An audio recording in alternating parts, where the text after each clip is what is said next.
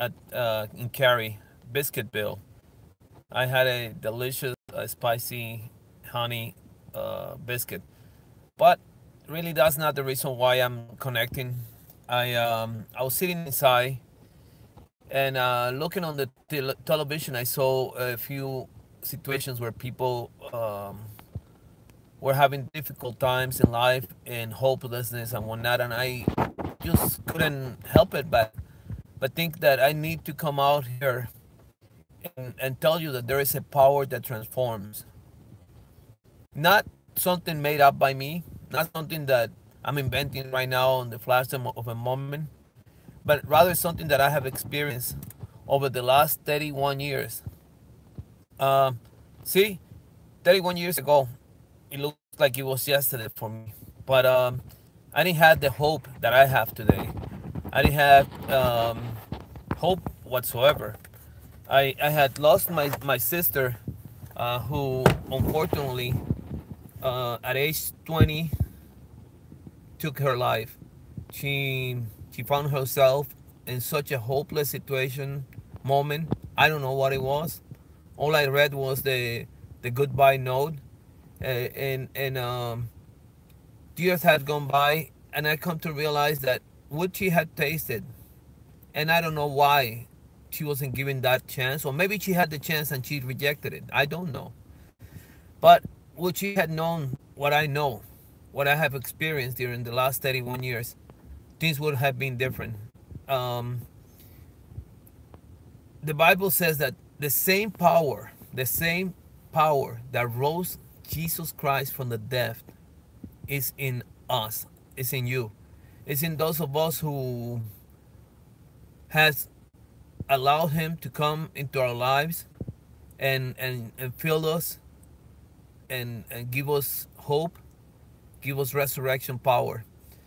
So I remember it was in 1992. My son, David Fernandez, um, at the time he was probably two years old. I was playing with him.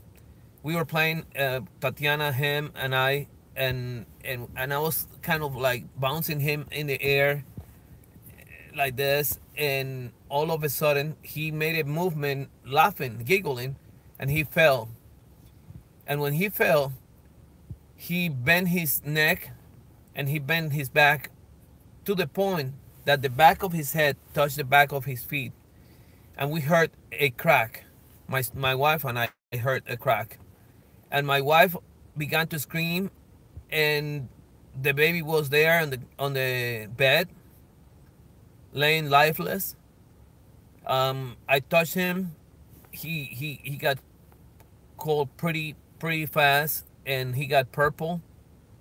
My wife touched him, and she she had finished her schooling and had done some CPR and and some um, I guess EMT basic training, and and she she said that he was dead. And I remember she screamed and said, "Let's call the ambulance. Let's call the police." And I, I was so anguished and so desperate at the time. We had just overstayed our visa in the U.S and I was just so frantic thinking that they'll come and they will not think that it was playing, but that, that we did it for whatever reason. And I said to her, No, no, let's pray. And I remember walking over to the living room with nothing in my mind other than I need to find a Bible. And I went and grabbed the Bible and I walked right back into the room where this had happened. And I walked in I didn't have a verse in my mind that I wanted it to open. All I had was uh, a, des- a desire to to to see something happen to my son. And I remember I opened the Bible like at random. I just opened it. And when I opened it, I put my eyes on the verse that was in front of me and he said, I am the resurrection and the life. Whoever believes in me, even though he's dead, he should rise. And I read that out loud with, I don't know, it was like a moment of faith. And I read it out loud, and out of the blue, Jeremy, I mean, David, oh my goodness, we have six kids. But David, my son, opened his eyes and he sat up smiling.